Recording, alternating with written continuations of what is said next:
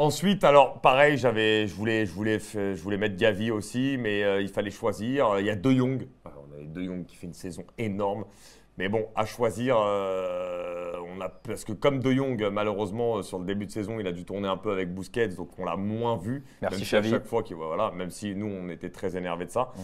Donc c'est pour ça qu'on met pas ni De Jong ni Gavi, mais bon, euh, ça, ça joue à rien. Je sais qu'on va nous le reprocher dans les commentaires, mais bon, on est obligé de faire des choix. Et bien sûr, on va mettre Pedri, qui est acteur majeur, même s'il a été blessé sur le dernier mois de compétition. Qui a joué au Euh, milieu, qui a joué ailier gauche. euh, Voilà, laisse tomber. Pedri, c'est- c'est c'est au-dessus de la mêlée. Et on va aussi partir sur Lewandowski. Parce que même si euh, c'est pas non plus le Lewandowski du Bayern, Meilleur quand même un mec, de, euh, de voilà, la Liga. hein. Pichichi, euh, encore une fois, il rend des très gros services au Barça. Alors oui, il y a certains matchs où on peut lui reprocher des trucs, mais globalement, tu es, obligé de mettre Lewandowski. Rajoutez-nous une étoile pour De Jong. Vas-y, rajoutez une étoile. On va en mettre 6 là. Parce que allez, De Jong, on est quand même obligé.